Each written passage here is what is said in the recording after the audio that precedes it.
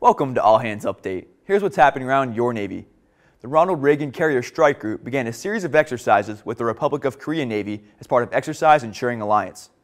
The exercise strengthens maritime tactics, techniques, and procedures while building partnerships. The U.S. conducts operations around the Republic of Korea to strengthen ties and improve regional security.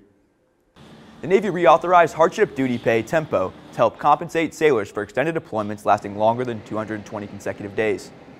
Sailors will receive HDPT on a prorated basis of $16.50 per day, not to exceed $495 a month.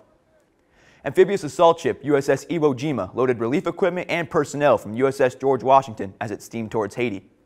More than 150 Marines and four Ospreys were transferred while at sea to join the disaster relief efforts.